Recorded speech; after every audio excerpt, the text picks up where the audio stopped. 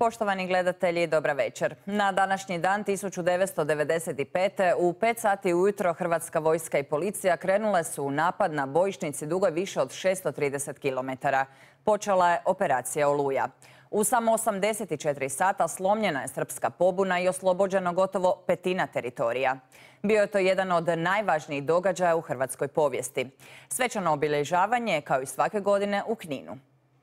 Otac je bio branitelj od 1991. godine. Znači, odrezao sam uz taj poziv, uz vojničku čizmu, odara mi je u obitelji cijeli život. Moj otac je poginuo 40 dana prije nego što sam se ja rodio, a na dan Oluja sam imao nešto više od tri godine. Imam tri sina, dvojica su, s ponosom moram reći, dvojica su pripadnici Hrvatske vojske. E, treći radi tu, nisu otišli vani, eto, dica odaše vani, moji nisu, jednostavno ne žele ići. Četvrtoga smo u pet sati krenuli, pa niko nije mogao spavati. Ono, od cijelog uzbuđenja, konačno, napokon, e, idemo e, osloboditi državu. Bili smo, bili smo snažni, četvrta i sedma, ali kažem i sve druge postrojbe, bili smo brzi, munjeviti. Mi smo za manje od 31 sat oslobodili Knin. A, ono, prijat, ovaj, skoro se neka teza kao da je on neosvojiv i tako dalje. Hrvatski vojnik je dokazao kad se bori za slobodu, za svoju zemlju, da je zaista nepobjediv. Na Kninskoj tvrđavi čeka nas domaćin sutrašnje proslave, gradonačelnik Nina Marko Jelić. Gospodine Jelić, dobra vam večer. Dobro večer vama i svim slušateljima i gledateljima Hrvatske radio televizije. Gospodine Jeliću, kako teku ove posljednje pripreme večera za sutrašnju proslavu? Pretpostavljam da je sve spremno. Pa da, bilo je spremno. Prije tri dana imali smo onu jednu malu oluju. Prije ove naše oluje i ona nam je malo pobrkala planove, ali vrlo brzo smo doveli sve u red i mi smo spremni za sutrašnji događaj potpunoma u suradnji sa MORH-om, sa Hrvatskom vojskom, Ministarstvom unutarnjih poslova, Ministarstvom branitelja. Sve gradske službe su napravile sve što je potrebno i čekamo sutrašnji dan. Evo ovim danima kada obilježavamo jedan od najvažnijih trenutaka u hrvatskoj povijesti, obično govorimo i o stanju u Kninu. I uvek vas svake godine na današnji ili sutrašnji dan pitaju kako se u gradu danas živi. Dakle, kako se živi danas u odnosu na prošlu godinu. Pa evo, ja moram reći da smatram da je situacija značajno bolja. E, naravno, uvijek bi mogla biti još bolja, pogotovo ako se uzme u obzir broj nezaposlenih i povratak ljudi koji su nam iselili, ali samo prošle godine smo imali povećanje broja novorođene djece naspram 2017. od 20%, što vam samo po sebi daje nekakvu nadu da je situacija išla u nekom smjeru koji smo željeli.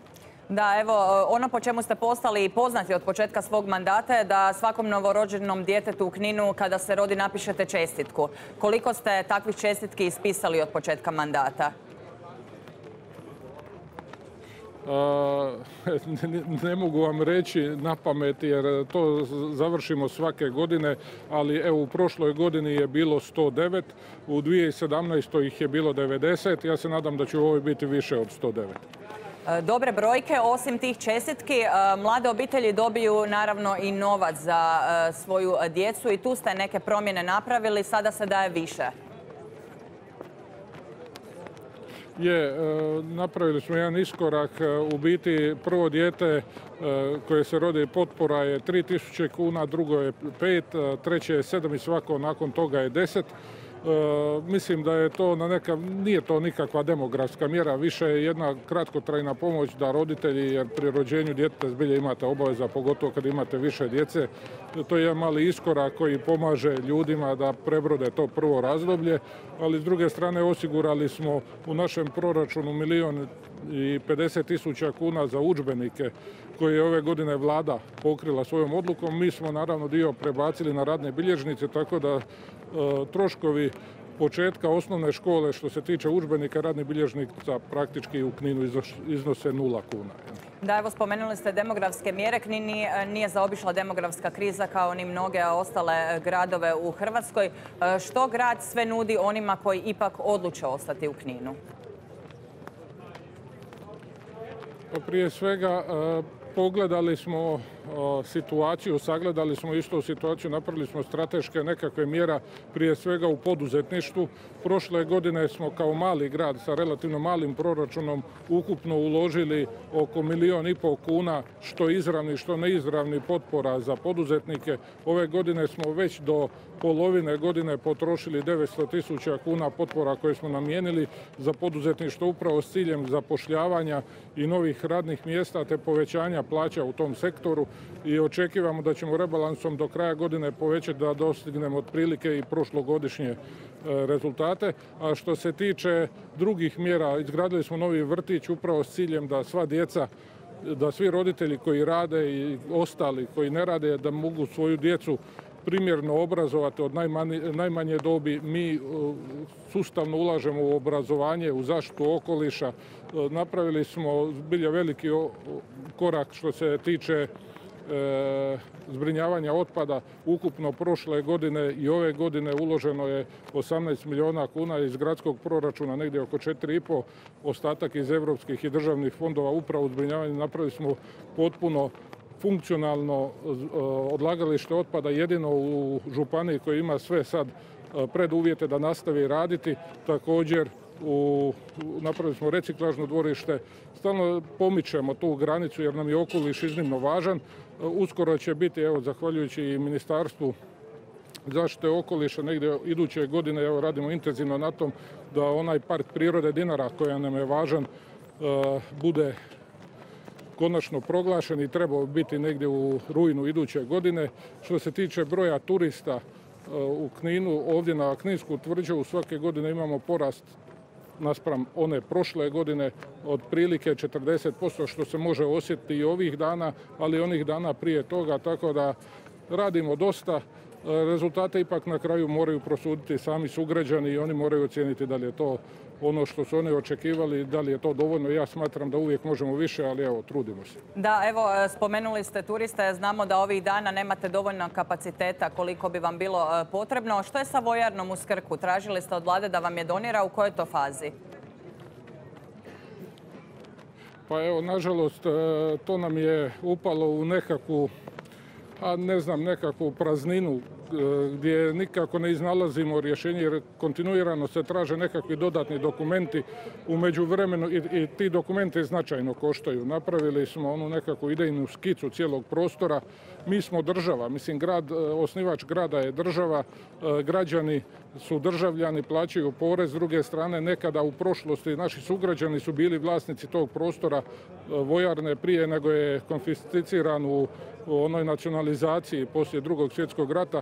Samim tim nema razloga da toliko otežemo, a imamo ulagača, imamo nacionalni park koji želi doći tu i koji je spreman. I iza mojih leđa je nacionalni park e, prije par dana otvorio ispostav ovdje na Kninskoj tvrđavi upravo s ciljem da jedan dio od tih milijun i 300 tisuća ljudi koji dođe na e, slapove Krke ujedno posjeti i Knin jer za sada je to uistinu mali broj. Evo, e, spomenuli ste te neke različite projekte koje imate u planu i koji bi se mogli realizirati.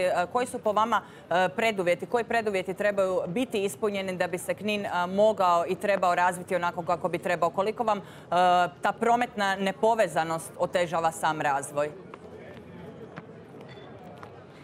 Što se tiče prometne nepovezanosti, tu smo uistinu na nekav način slijepo crijevo Republike Hrvatske. Znate da prvi autoput je ovdje kod Šibenika. Mi kad idemo u Zagreb, obično idemo na Gračac i Sveti Rok, to je 75 km.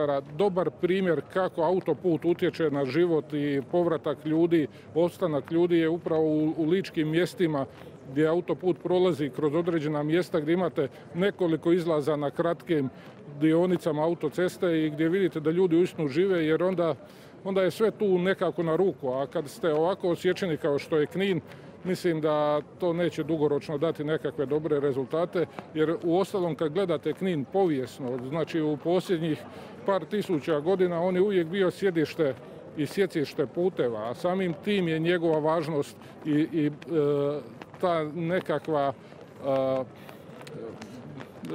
naseljenost je ovisila upravo o tim putevima i zato su ljudi živjeli na ovim područjima, naravno uz rijeku Krku koja je u biti životvorna osnova svega ovoga oko nas. Da, evo, e, puno ljudi, rekli smo, odlazi iz Knina. Ta brojka je sad negdje oko 10 tisuća. E, kada se slušaju stanovnici Knina, kažu da je ta brojka i manja. Dakle, ljudi odlaze, ali ima li oni koji se vraćaju u Knin? Ima li e, posla za ljude kada bi sada netko odlučio vratiti se u Knin? Može li se i gdje zaposliti? Pa evo ja moram reći da upravo u ovom prostoru gdje sad stojimo, ovaj restoran koji je uistinu jedan dobar primjer gdje je mladi čovjek vratio se obitelji iz Njemačke, ovdje je otvorio restoran koji ima vrhunske rezultate, koji nudi vrhunsku razinu usluge i takvih primjera imamo sve više jer ljudi su u načelu shvatili da im ne odgovara život negdje tamo van Naravno ne svima, određeni broj ostaje gdje jest, ali e, pogotovo mladi ljudi koji žive u Irskoj i rade tamo, zato što Irska nije u biti e, mjesto gdje ljudi odlaze sa obiteljima. Tu odlaze ljudi koji još nemaju obitelji, stječu nekako iskustvo i to nije loše za Republiku Hrvatsku, pogotovo ne za Knin i oni se vraćaju. Mi ovdje imamo inicijative i za otvaranje i neki mladi ljudi rade u IT sektoru što je dobro. Upravo iduće godine želimo kroz ovaj program integralne regeneracije, taj veliki program od 22,5 milijuna eura, predvidjeli smo izgradnju tri inkubatora, spremili smo sve dokumente, čekamo samo odobrenje da krenemo s tim i iduće godine negdje u ovo doba bi trebao biti završen. To je mjesto gdje ti upravo mladi ljudi iz IT sektora mogu doći, koristiti sve pogodnosti takvog jednog e, prostora i na taj način e, dobiti E, svoj nekakav osnove za svoj život u ovom ovdje gradu. Tako da ima tu pomaka, ljudi e, se vraćaju, ali moram reći da još uvijek imamo oseljavanje koje je značajno manje od onoga što je bilo prije. Jer e, od 2011. do 2017. je ukupno iz Knina iselilo 4904 osobe, što je otprilike trećina pučanstva našeg grada. Da, e, ono što bi svakako htjela spomenuti e, za kraj da Knin e, dosta ulaže u udruge civilnog društva, oko 200-300 osoba i tu si je našlo posao. Zanimljiv i jedinstven projekt koji je nedavno krenuo u Kninu je Eko Beba. O kakvom projektu je riječ?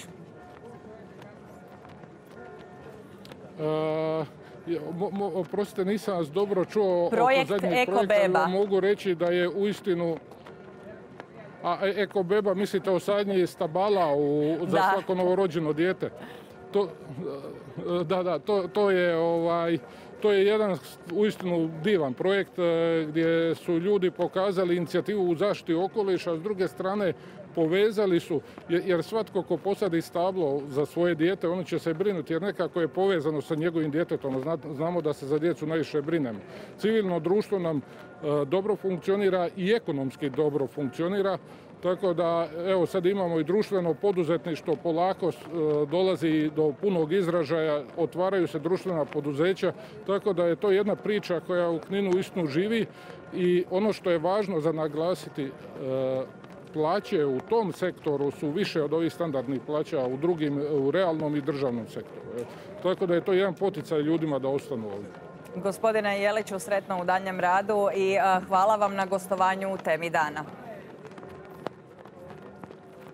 Hvala i vama i pozivam sve vaše gledatelje, e, naše drage prijatelje, dođite sutra u Knin i pridružite se proslavi najvećeg državnog praznika u novijoj hrvatskoj povijesti.